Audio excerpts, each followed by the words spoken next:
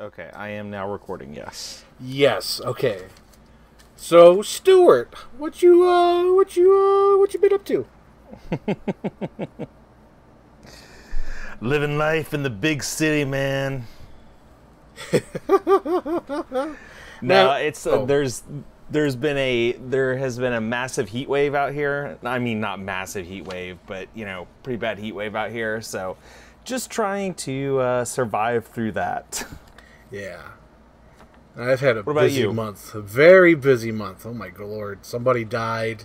There was an election, and then I stepped away from the Last Action Hero podcast because I was like, ah, I, I hope it works because I was a little worried. I was a little worried, I think it works. but no, it, it it turned out way awesome. It really did. And like, I think I'm getting the hang of editing it now. And like, whatever I do take out, it's really stuff where we just go way off base because the stuff I took out was just like, we I like the TV edit stuff. We didn't need that. And then there was something about the Planet of the Apes where I literally go through everything. And it's funny, while I was editing it, I found out we have like little ticks, like both of us.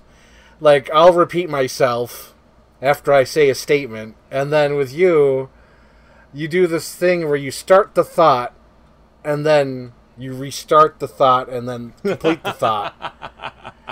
And it's seamless. Yes. Like I like I've noticed this while listening. I'm like, oh my god. it's like we, we both do like we have similar things, which I find kind of funny. But after you hear it and it's all edited, like it's kind of smooth. Like no one's really going to notice anything. It's like our it's like our brains are each tuned directly into that tick. Yeah. You know. Yeah, it's like we know what we want to say, but we gotta we gotta think it out. Yeah. yeah, yeah. Pilot? What's a pilot? Well, the way they pick TV shows is they make one show. That show's called a pilot. Then they show that one show to the people who pick shows. And on the strength of that one show, they decide if they want to make more shows. It's showtime. What have you done? What have you done? People need dramatic examples to shake them out of apathy. My God. They said the age of heroes would never come again. It has to.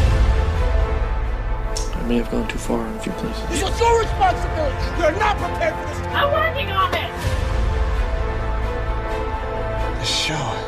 It's gonna be incredible. So um, this week, Stuart. Well, hang on. We, we have to do like the intro. So, hello guys. This is me, Frank, and This is Stuart.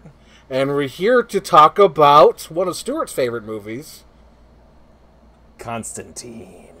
Yes. Now this one, I'm not that familiar with because I, I think this is either the second or third time I've watched it tonight. I have not watched it that many times, so you're going to have to guide me through. I do have some notes here, and while watching it, I did form an opinion. I was like, mm, okay, yes, and no, no, no, it's um, it's Okay, so I, I assume you don't watch those kind of movies all the time, you know, like Underworld or Ghost Rider or I Frankenstein and things like that. I assume you don't watch those. Wow, you just uh I I Frankenstein absolutely not. Never seen it. Never never want to. Um, I saw the first Underworld by accident. I have never seen any of the other any of the other films in the Underworld series. Never want to. Yeah. Um, and what was the other one? Uh, hang on. Oh, damn.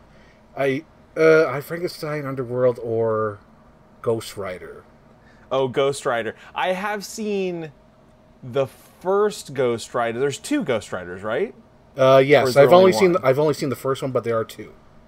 Okay, yes. I have seen the first Ghost Rider. Yeah. It was fun because it's Nicolas Cage and he's being Nicolas Cage in it. Yeah. Um, but yeah. Apparently, Nicolas yeah. Cage was almost Constantine. I don't know if you did research on that, but What? yes, like in um, the '90s, they went through like several music directors, which I find interesting because like the guy who directed this mostly directs music videos, and Yeah, in the Francis '90s, Lawrence. yeah, in the '90s they uh, approached Paul Hunter and Tarsem Singh, the guy who did um, uh, the Cell. Oh wow. Yeah, they wanted one of those guys to direct this movie, and I believe uh, Tarsem Singh walked away from the project because of Nicolas Cage, because Nicolas Cage had his own ideas. And I'm thinking, oh, okay, so that became Ghost Rider then. Dude, if I if I won some massive lottery where it was like my take home cash was enough to fund a Tarsem Singh version of Constantine, like I would just give it all to him. I would just be like, take the take this like, you know, this van full of bags of cash and go make me your Constantine film. Yeah, because he he does have that vision. Because I, I've been wanting, I've been re-wanting to watch The Cell. I remember Dude, the seeing Cell that. is so good. Yeah, It's so good, and he he also did a movie that was it was I it was not as good as The Cell, but it was still pretty good called The Fall. yes, I, I, don't know whether that. you've ever seen that, but Never like yeah. The Cell is like if David Fincher like took LSD and made Seven. you Yeah, know? right. And The Fall is kind of like that, except it's not really as menacing a story, you know? Yeah, it's probably not really a menacing story at all. no, So, yeah, yeah. but I, I do recommend it if you ever get a chance. Yeah, It's- after it's a good one. after like seeing what they were approaching or those directors they were approaching for this, I kind of want to check out those other directors. But the point I was getting to is this movie is similar to those, but only towards the third act. I should say, because Mm-hmm. I really liked this movie in the beginning. The first act, sort of, or not the first act, like the first and second act, I should say, reminded me a lot of Hellboy. Well, like okay, that's actually I I actually have a note about that. Yeah. Okay. Yeah. And oh yeah, I do have a note that too because one of the reasons why they didn't want to call it Hellblazer is because they wanted to avoid Hellraiser and Hellboy. And Hellboy was hmm. released around the same time, and I believe Hellraiser was just ending in the 90s, which they had original scripts back then. Because they w- they've been trying to remake this since like the 90s. There was that girl Donner. Um, uh, she's the wife of Richard Donner. She produced a lot of those superhero movies like X Men, Superman. She wanted to do this Constantine way back in the 90s, and it just never got traction until they changed the character of Constantine to American, and then the script started getting traction. Ah. Yeah, yeah, yeah. And um, where was I? I was completing my thought. Oh yeah, so the first two acts are like really like Hellboy, where the world feels real. Yeah, there's like a fantasy side of it that nobody really knows about. It's like underground. Everyone there's like a lingo. It doesn't really hold your hand. It Yes. just goes with it. But then towards the third act, I would say when he goes into the building with the big giant shotgun, I'm like, all right, this is where it's this is where it's starting to turn into I Frankenstein territory, which are really like I, I was kind of disappointed with the ending. I'm not gonna lie. I hate You're, to jump so- ahead. So you're talking about the when he goes into so from everything where he goes into the hospital. yes, you there's don't some like, cool, okay. yeah, there's some cool ideas, but it just kind of goes schlocky because he there's that room full of people that you don't really know. They don't hold your hand for that. Yeah. I assume they're demons. Well, they're half demons. They're Yeah, half yeah. breeds. So I think that has always been my biggest problem with the film. I do love it, but I wouldn't give it like five stars. Oh, yeah, no, You no, know, I'd give it like three and a half, maybe four. Now I've watched it probably ten times Yeah, yeah. but it's not it's by no means a perfect film and Mm-hmm. i think part of it is because of like you said it just feels like there's a lot of information that they left out yes. and some of that i think works really well because it's like they don't hold your hand with like all the characters No, and like don't. some of the things that are going on Yeah. and i like that i like the fact that Yeah. like these people just they just know each other and you may not know who the uh i forget what his name is but the um the priest guy i forget what his character's yeah hennessy yeah Yeah. um Roger Ebert pointed that out in his review. but he just shows up in that opening scene and he's they start you know him and constantine start talking and you're like okay who is this guy Right. but i like the fact that francis lawrence is like yeah you're not going to know who this is at first but you will get to know him like Yeah. you'll understand who he is Right. but on the same token they take that a little bit too far throughout the whole movie where it's like there's certain things that just happen and you're like what is happening right now Right. why is this happening who are these people they touch on the whole half-breed thing sort of in the beginning of the film Very briefly. never- yeah. yeah, but they never identify that the people in the hospital are half breeds.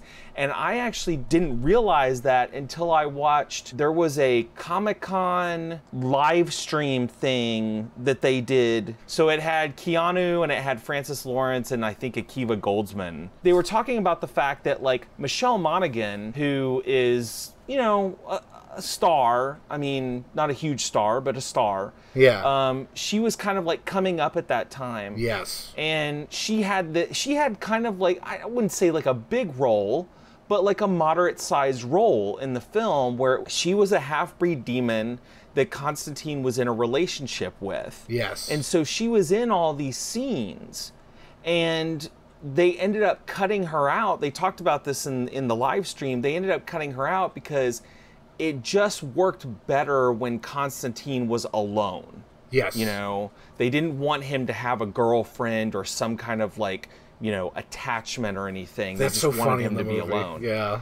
Um, but she shows up in that scene. Holy you water. her for like once. Yeah, she says. Yeah, she says that one line, and I always wondered. I didn't pick up on it at the time when I first saw the film, but years later, I was like, why is Michelle Monaghan in this, and why is she only in one scene where she has one line? Yeah. And who are these people? Right. But they explained it that she was, you know, a half breed demon, and that those were all the collected half breed demons who were there to like witness Mamon's or how I don't know how you pronounce it, Maimon or whatever. Yeah. His like, uh, you know, coming into the world or whatever. So. Sorry, that feels like a huge aside, but at the same time, No, no, like, no, no. This is all weren't good. This kind is of talking about that. you know, this is all rolling in because I just wanted to jump right into this. Since I'm jumping far ahead, let's let's jump back to how you first watched this because I feel like that's always important when we talk about these movies is how we first watched this or what got us into it. for me, it, it was just like a movie that came out, you know, in 2005, and it probably had an interesting trailer. Mm-hmm. And so me and a couple of friends went to go see it. And I remember not being particularly impressed by it at the time. Yeah. There were things that I liked about it, but overall, I felt like, eh, I, I don't really care about this. But there's like a group of movies that have done this for me over the years where it's like they just stick with me you know and i end up watching them over and over and over again and the more i watch them the more i like them and shutter island was an example of that. I remember the first time i saw shutter island in the theater i wouldn't say i was particularly impressed by it. I thought it kind of looked cool but i didn't really i just wasn't really going for it. But then I think I saw it on Netflix like a couple of years later, and I ended up watching it probably like three or four times over the course of like a couple of weeks and became kind of obsessed with it for a little while. And I wouldn't say that Constantine is exactly that, but like I said, I have probably watched this movie like 10 times at least. Yeah, yeah. So it's just one of those movies that every time I see it, it gets better and I enjoy it more. Not perfect, Yeah. but Yeah, I get you. I get you. My history with Constantine, I believe, started with comic books. It's hard to pinpoint. It might have been the trailer. It might have been comic books. I'm not sure because it was 2005. 2005 was the year where it sucked for movies. It was it was mostly remakes. I, re- I don't know if you recall. There was like Stepford Wives. There was Bewitched. There was War of the Worlds, Bad News Bears, uh, uh, Charlie and the Chocolate Factory, Batman Begins.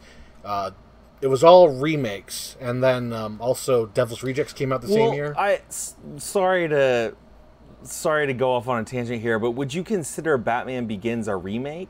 Well, at that at that time, you would think it was a prequel to '89, or at least I thought so.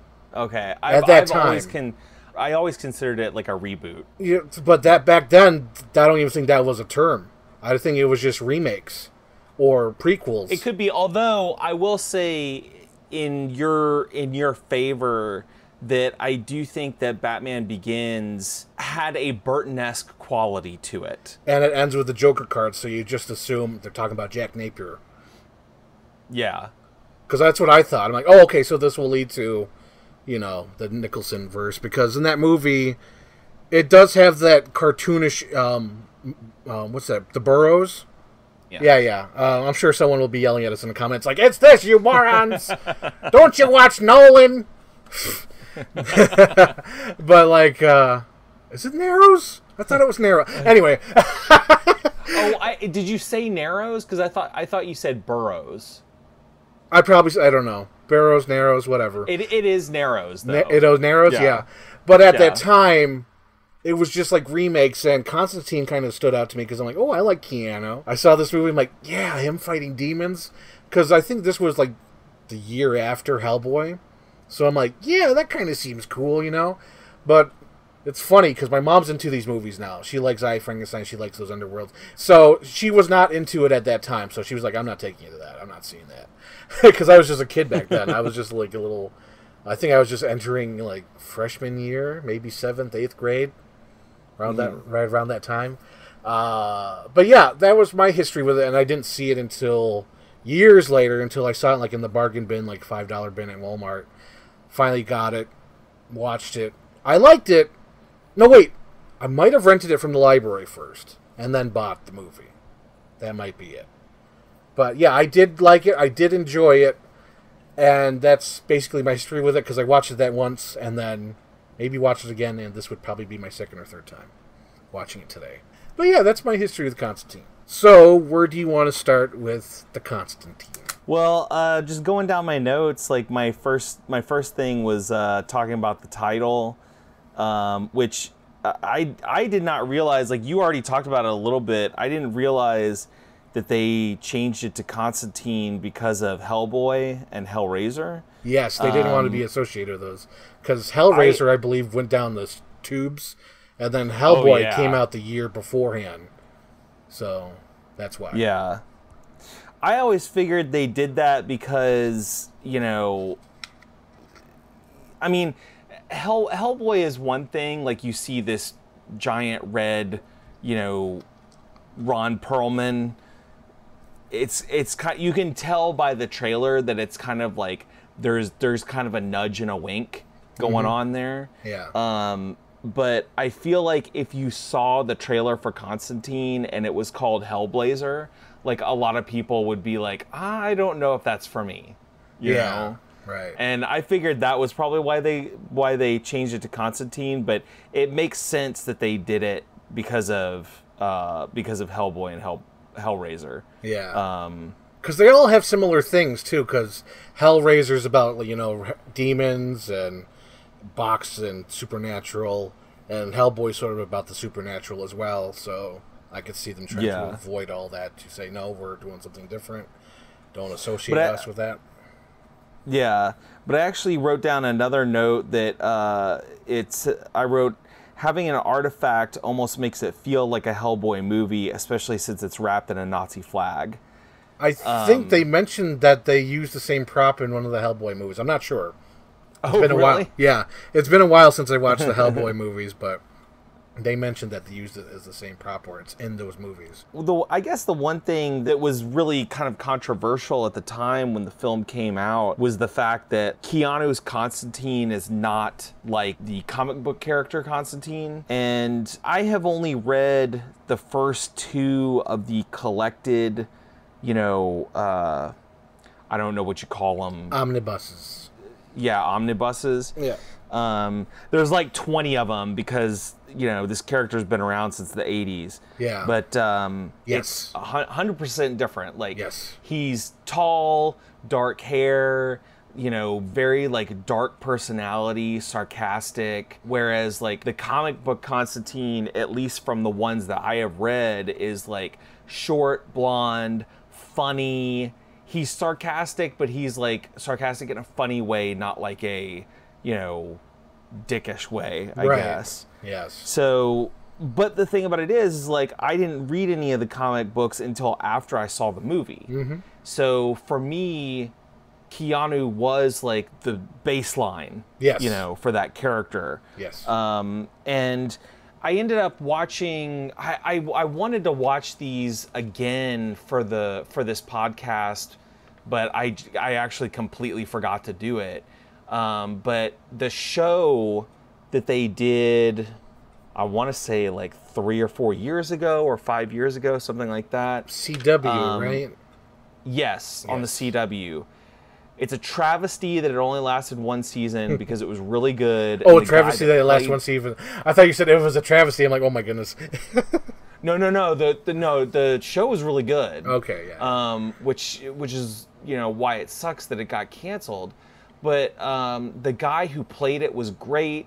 You know, he was Constantine, the comic book Constantine, but at the same time, it's like I like Keanu's version. Mm-hmm. You know, and you know they were kind of joking around about a um, about a sequel in that that uh, Comic Con, you know, Q and A thing, and I was like, yes, give me a sequel, give me, you know, or or even a series. They they talked about even doing like a limited series on HBO, Yeah. and I was like, yes, give me Keanu as Constantine. I'm not one of these like hardcore comic book guys who's like, no, he has to be blonde and he has to be short and he has to be this and he has to be that. I'm like, give me Keanu as Constantine, give me Francis Lawrence directing it.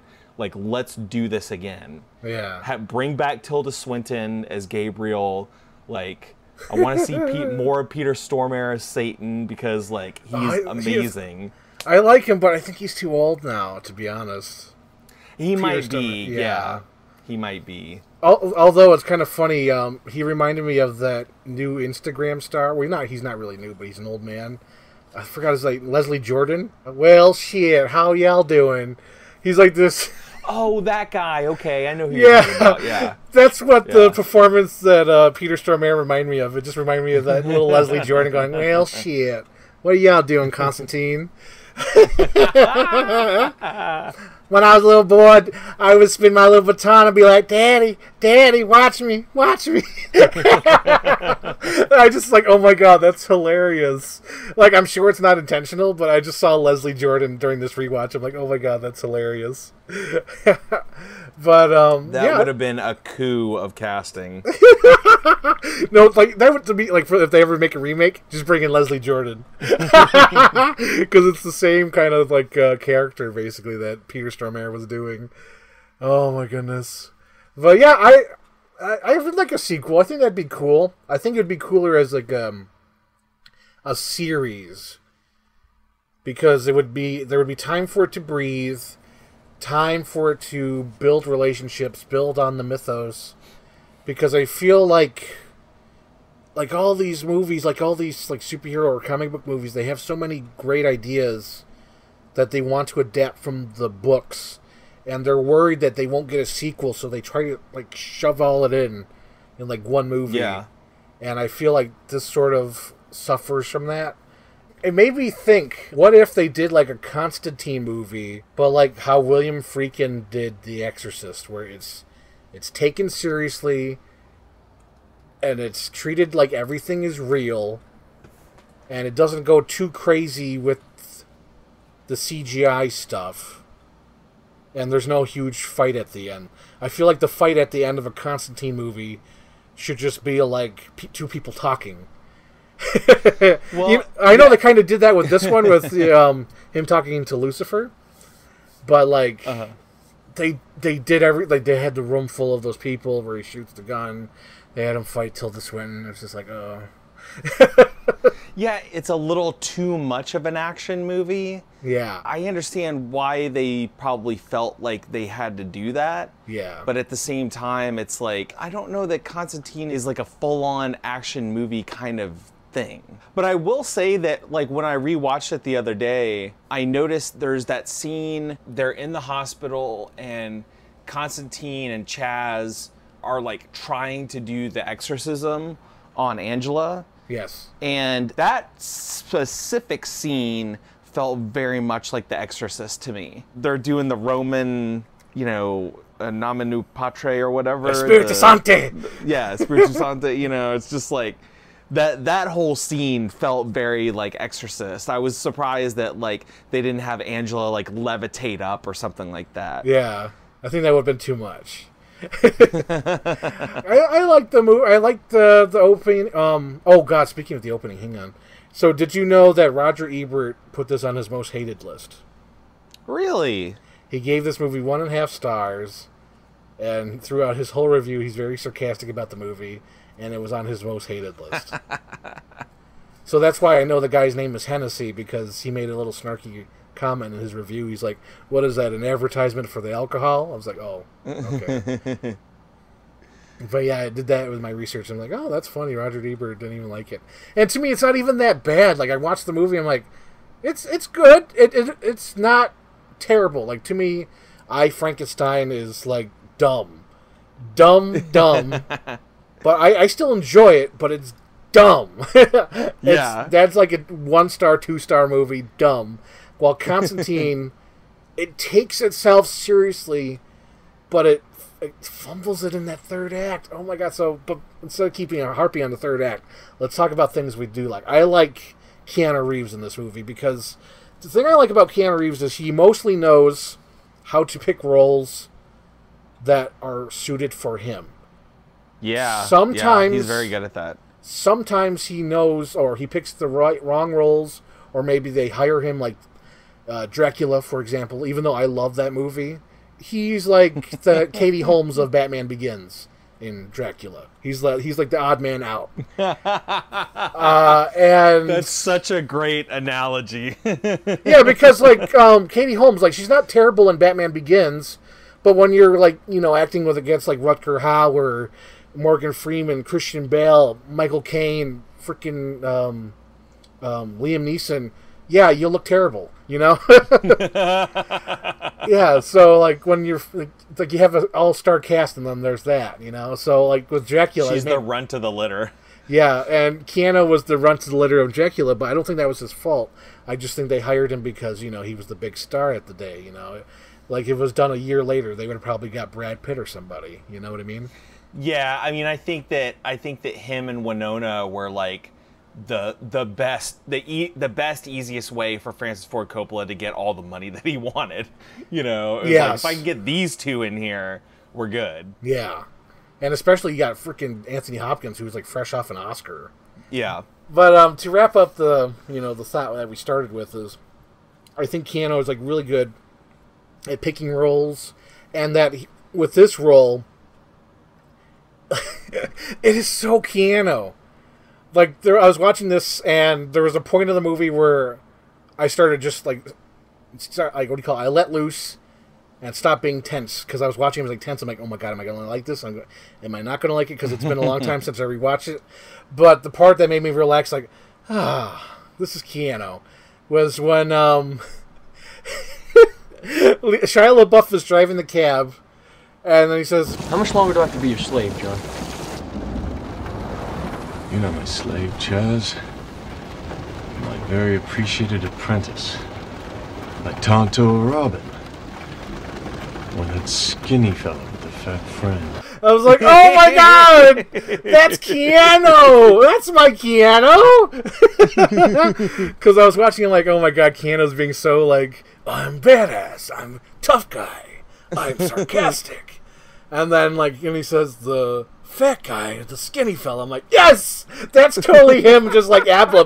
Because you know him, he's like, how about I reference Laurel and Hardy, but I don't know their names because I could totally see him being like that, like because he loves cinema. That fucking Yeah. guy made like a documentary about how much he loves movies, and like I could just totally see like, how about I reference Laurel and Hardy? Like Constantine knows history, but he, he like he knows Tonto and Robin because he watched them on TV, but he like watched Laurel and Hardy once. I could totally see him doing that. But like that's the point where I'm like, okay, Keanu, this is Keanu. I'm good. yes, I'm in good hands with Keanu.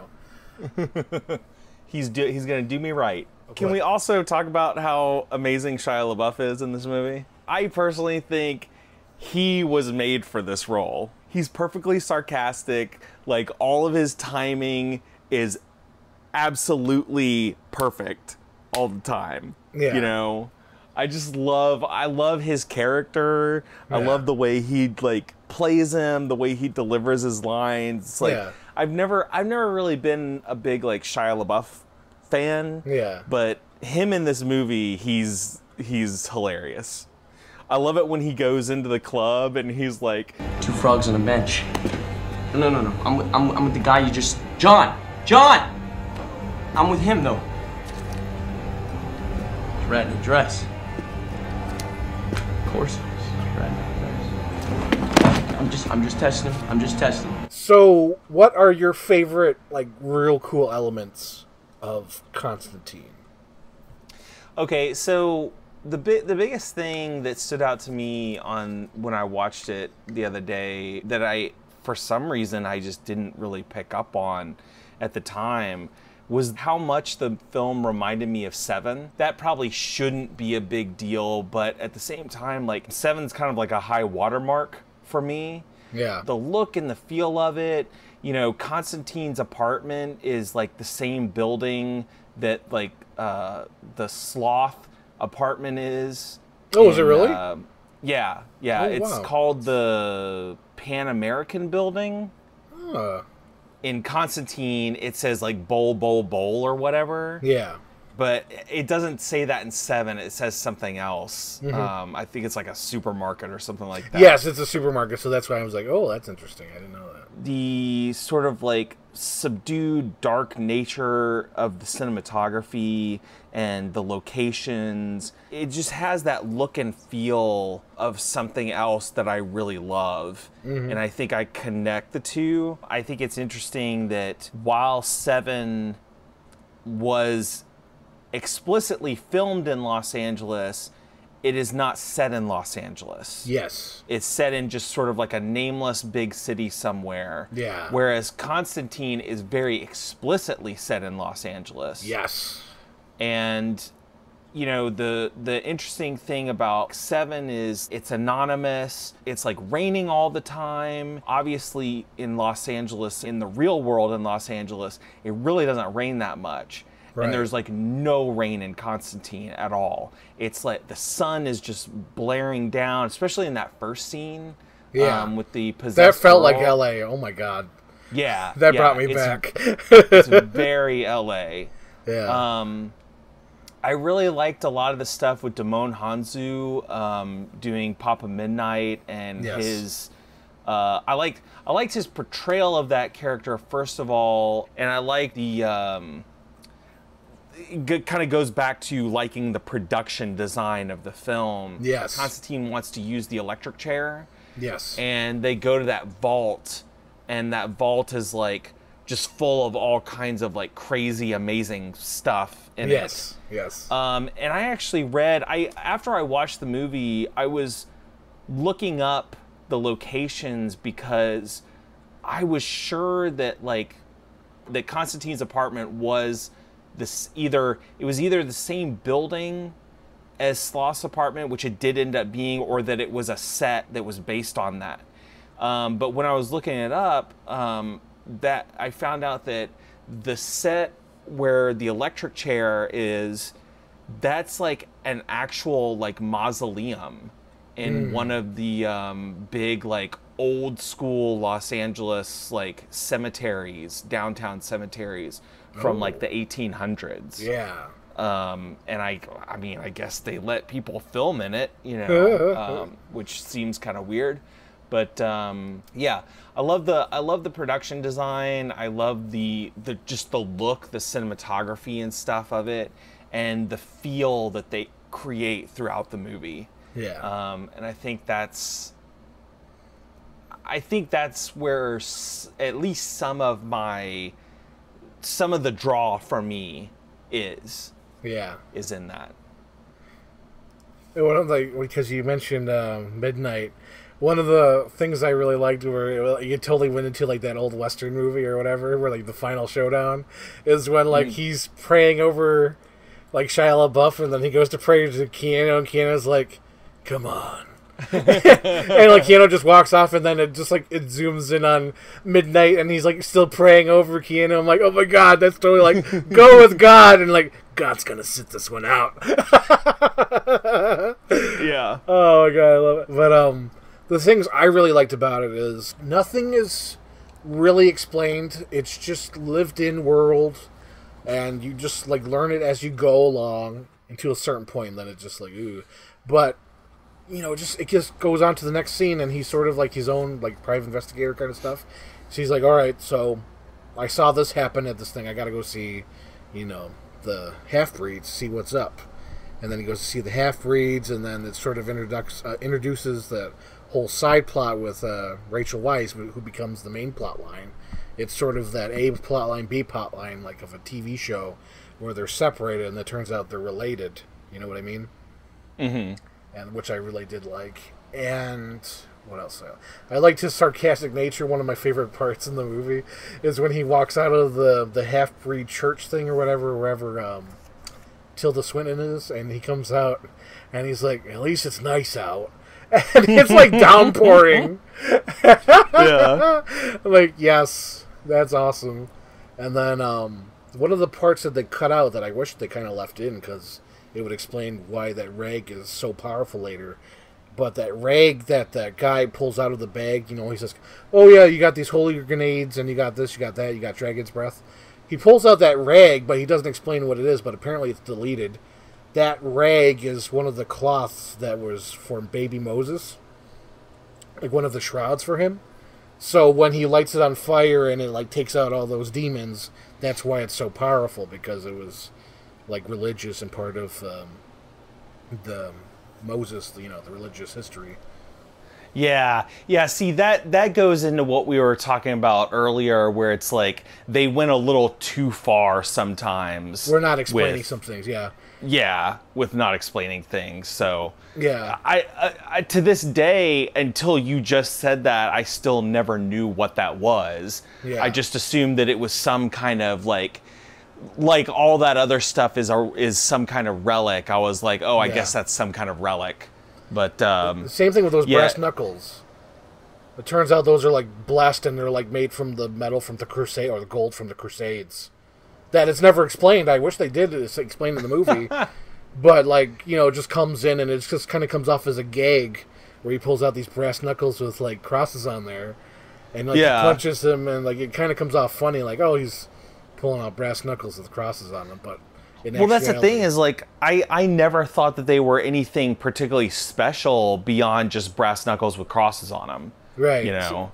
that's where it, like well, that's what we've been talking about where it just it goes too far of not explaining things because there's some things that i wish they did explain but then again it'd be too too hand-holdy you know what i mean because Yeah, I, I like yeah. what they did whereas these characters already know what it is there was one dumb line there was one fucking Riker one Riker line in this sh- movie with um, Rachel Weisz she was I believe in the parking garage or somewhere. I forget where they were, but she's just like sulfur. I'm like, oh, that's the Riker line.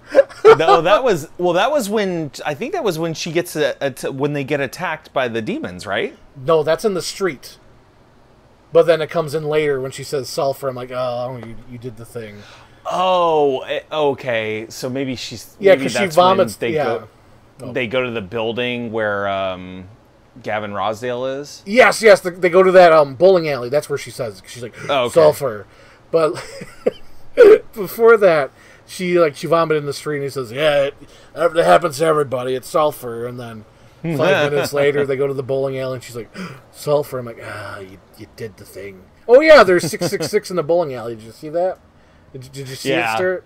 It's, Yeah. it's, a little, little thing. They put six six six on the wall. Did Did you know that? Did, did you see it? Uh, You know that I wish wasn't CGI, but was CGI. It What's was that? locust like rat monster thing. I kind of wish that was just a practical suit, or like a hobo that looked fucked up. You know, something like that thing from a Mulholland Drive, who's behind Yeah. the Winkies. It should have been something like that. You know, Yeah. that's so cool. Like some freaking demon just walking in the street and just comes up to him.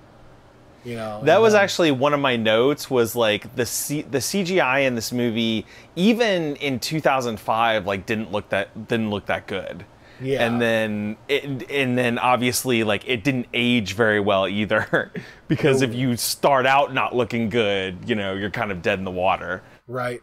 And this was right around that time where they were still experimenting with CGI because the year prior was Sin City, which just like was amazing. To me, that's still a, one of the greatest accomplishments of comic book where it just leaps off the page onto the screen.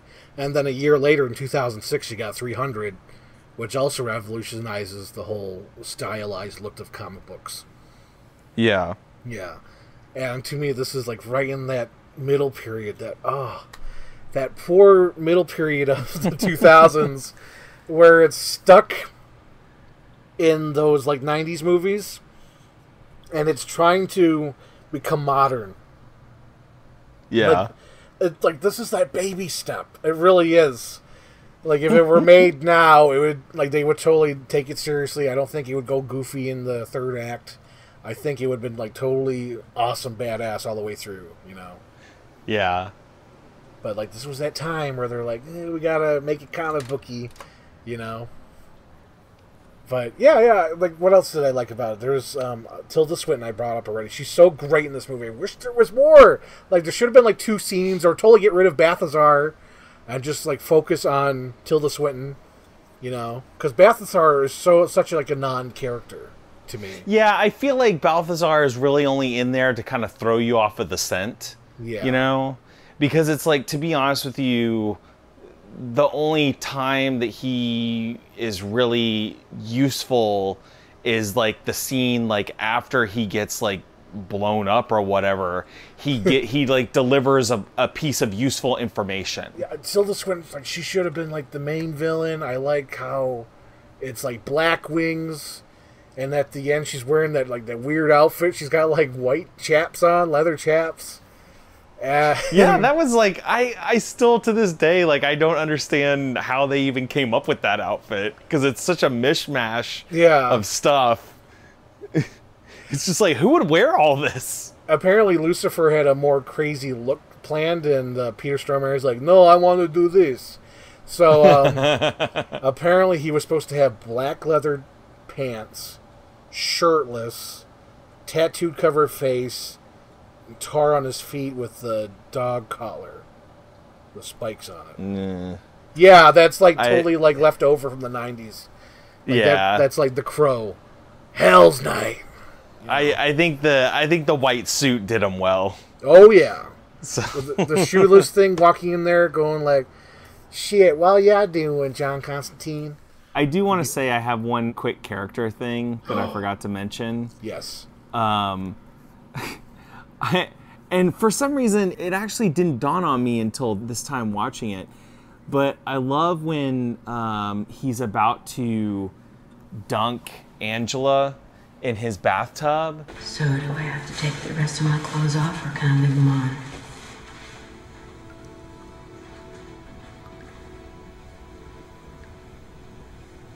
John, I'm thinking.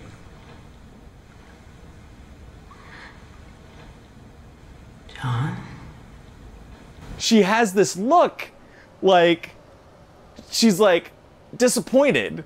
You know? there's so many times where she gets cucked where like they're so close to kissing and he doesn't do it it's like it comes to the point where i'm like constantine has never been with a woman and I, I'm, I'm i'm glad that it's not like i'm glad they cut out the girlfriend because every time they cut to a part where it looks like they're gonna kiss or could kiss it doesn't happen. Like the, one of the first times it looks like they're gonna kiss is when he's fighting with her in the hospital did she do, Angela? You know what she did. and that looks like a kissing moment where like you know in, in the wrapped up in the emotion doesn't happen and then later on with that scene within the bathtub doesn't happen. And then later on, when he's giving her the necklace, it looks like he's going in for a kiss, and it doesn't happen. And at the end of the movie, he gets really close and like says something to her. So, I've got some cleaning up to do. and there's no kiss, and I love it. oh, You just expect her at some point in time to be like, "Look, what the fuck is your problem? like, what's wrong with you? Is there something wrong with me? I'm giving you every chance, Constantine. Every oh chance." Oh my god, it's so funny. Holy shit. But yeah, he totally just doesn't do it. He doesn't give in to it. Like if they do a sequel to Constantine, I almost wanted to be like Escape from LA, where it's the same exact movie.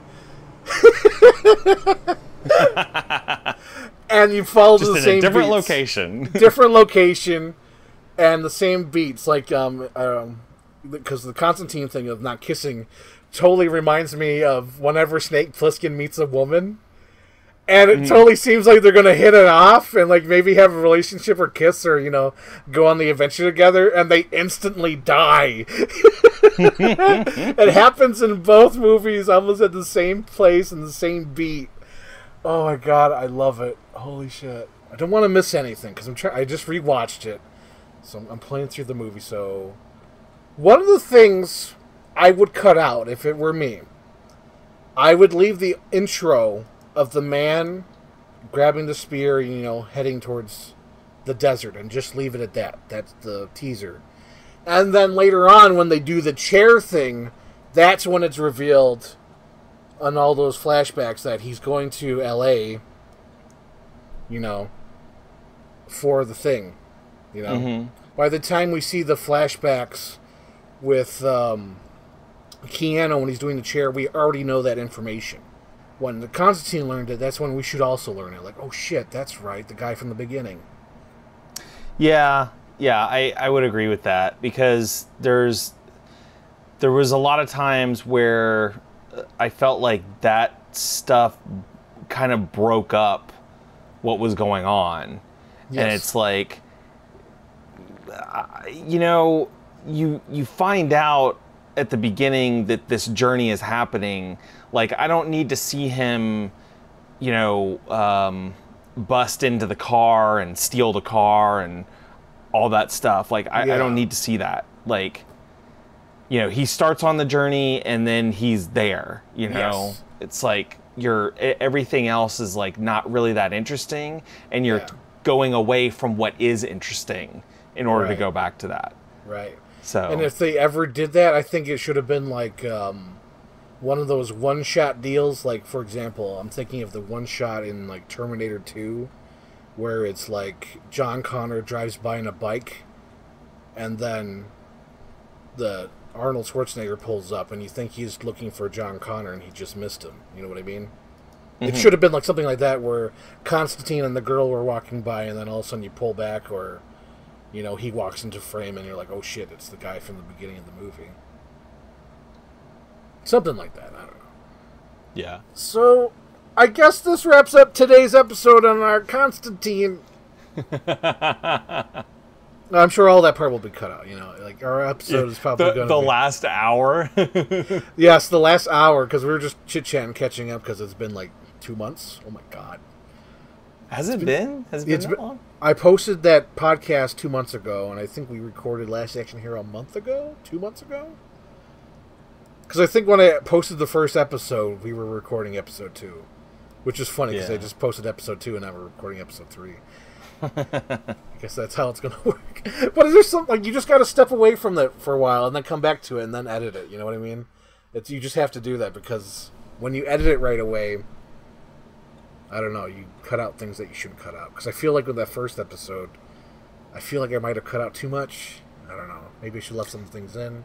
Yeah, I think it's always good to like uh, get like let something lay for a little while Yeah, if you can, and then like come back to it yeah, because sometimes you're when when you've just recorded it, you're still a little too close to it. yeah. Because when we first recorded, I didn't know what the fuck we had. Because I'm like, oh my god, I don't know if that's an episode or not. Because there's like a lot of times where you're like, what do you mean?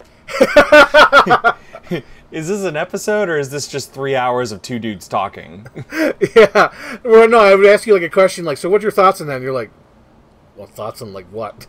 and then I just had to explain it, and then you, you know, you you said your thought, and you can't even tell in our that episode I made where it's just like it's just it's all smooth.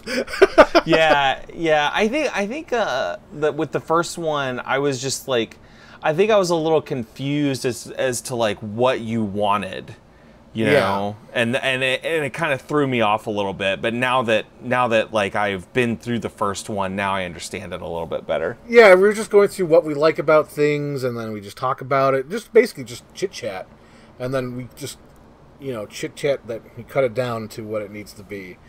Because that last action hero one, I still can't believe it was three hours, but like I, I chopped it down to ninety minutes, and it's a good ninety minutes. Like everything I cut was totally not related. And when you mentioned it, when you said, I uh, I listened to it, and there was a part where it slowed down, and I walked away, and it came back as natural. I know what part you're talking about. I think I know what part you're talking about because I remember when I was editing it, I'm like, man, I haven't edited much in this section, but it's all natural. It's the part when we start talking about mashups and movies and how people don't deep dive enough.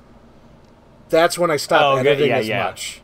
Yeah, But it's all natural though, because I remember when I was first editing, I'm like, I haven't touched this up, but I went back through. I'm like, no, this is good. This is natural, because I because I realized I haven't I wasn't cutting as much as I was, you know, in the pre in the earlier in the episode. I was like, "Hmm, let's see how it goes. But then after I listened to it, I'm like, oh, this is fine. I don't have to fix anything.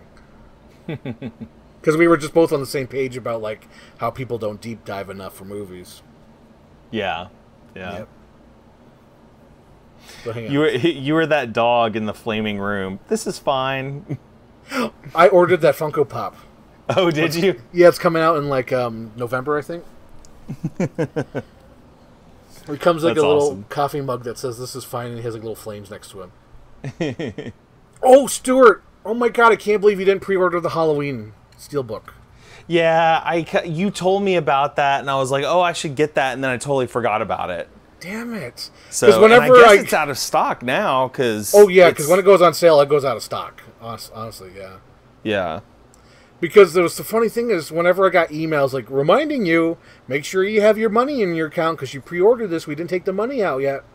Like you would always say it was in stock. yeah. So it's like when it finally went on sale, I'm like, oh, because when you said it's all sold out, and I'm like, oh, Stuart, it was there for like two months. it was there. You could have had it. I know, because I'm similar boat with you because I wanted this. I um, I wanted the steel book of Joker, but I totally missed out on it. Yeah. And now I'm waiting for a re-release of Joker because with DC movies they release those like every six months in a different case. You know. Really? Well, basically, yeah. I don't know, like, know. there's there's like some covers out there at Walmart because at Walmart they actually had a steelbook collection where all the covers were comic book inspired. Like they hired artists to draw like a Batman versus Superman cover, a Suicide Squad cover, and a cover for like um what was the other one, Justice League. Mhm. It was actually like comic book inspired steelbooks. I'm like, oh man, and I was waiting for the steelbook for the new Joker and I'm like, "Ugh." so I finally just ended up buying it because my mom's like, just buy it, and then when the steelbook comes out, you'll have like two copies. You already have co- copies of everything. I'm like, yeah, you're right. Because like this Halloween, I don't need it. I have the DVD. I have the VHS. I have the special edition Blu-ray that's signed by Nick Castle. I don't need the 4K, but I got it anyway. But it's got that beautiful steelbook artwork on it. I know. I'm like, but it's like I'm like Waylon Smithers. She's got a new hat. That's the thing, dude. Like I almost did that with Once Upon a Time in Hollywood. Like I bought the um I bought the steelbook Yeah. for it and and I also bought the um the like collector's edition that has the uh it's the one that has the 45 record. Yes. Yep. Um, and then Amazon had just like the regular 4K Blu-ray, um, just like the standard version Yeah. that you can buy. They they were like having I think like a 24 hour sale on it where it was like twelve dollars or something like that, and I was like. ooh, should I buy that? And I was like, I've already got two copies of this movie. Like, why? But I'm like, but I'm like, it's the it's the other version of it. Like, I want to, I gotta get it. You know, it's I don't You know, have that should, version. You should do it. You know I Just have like that could be your thing. You just collect the different versions of Once Upon a Time. That's like legitimate. That's like legitimate, right? It's legitimate. I mean, if you if you love a movie that much, you know, And you just it's, collect I think it's reasonable. Yeah, because like yeah, I, I support that, Stuart. Because you know you're not gonna that's not gonna release it that many times, but because like with Beetlejuice, this freaking thing, like I already have the DVD. I'm totally fine with the DVD. But like when they released the 4K, I'm like, I need that shit on 4K. And then not only was it on 4K, but they but they had it in that fake book with the chalk and like the iron-on sticker and the the fake newsprint that says Beetlejuice, Beetlejuice, Beetlejuice. I'm like, I need to get mm-hmm. that. Oh man. but I'm into that now. I'm like, man, whenever they have like little collector things, I'm like, ooh, I should get that. Except for Friday the 13th, I can't pull the trigger on that. Even though Oh, the so the Shout Factory thing. Yes, it was so tempting. So tempting, Stuart. You're gonna like, regret that. Uh, yeah. Okay, we need to close. We actually have to record an outro for this. Oh, okay. Okay, here we go. So, we that was our discussion on Constantine. So, Stuart, any final thoughts on this episode? I think that like Constantine is a fun film and it's sort of a weird supernatural you know kind of like D- D- Fincher-esque kind of thing, you Yeah. know? And I love it for that. Mm-hmm. It's not a great film, but you know, I I do enjoy it. It's it's one that I've seen a lot of times and I will probably still continue to go back to a lot of times. Yes. So, and I would recommend it because I think it's it's a good movie. It's not excellent. It's not film classic or anything like that. I would recommend it. I really do like how it just you know everything is not spoon fed to you. It doesn't hold your hand. The The world's already established. But yeah, so that's been today's episode, and um, me and Stuart have discussed the next episode. We think was it Spielberg or were we going to talk about? Um, what was the other thing? I'm wondering about? if we should talk about John Carpenter's vampires at some point in time. So see you next month, guys. Stuart, you gotta say goodbye. You gotta say your goodbye. See you real soon.